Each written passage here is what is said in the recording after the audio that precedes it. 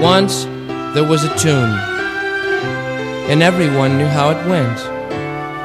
But as time went by, people began to forget, until at last no one could remember.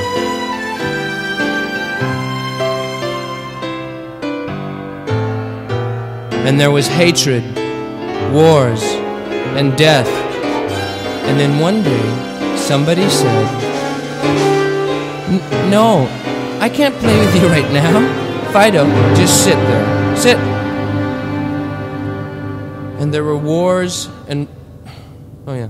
And then one day, somebody said, No, no, I'm busy right now. Just take your ball and sit, okay? Okay. There was hatred and wars and death. And then one day, somebody said, How does a tune go? There is no tune. There never was. It's only a myth.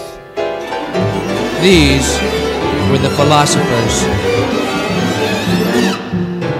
You mean there's no tune at all? Well, it doesn't really matter what tune you play as long as you play something and you don't hurt anybody. These were the religious leaders. And so, what do you want?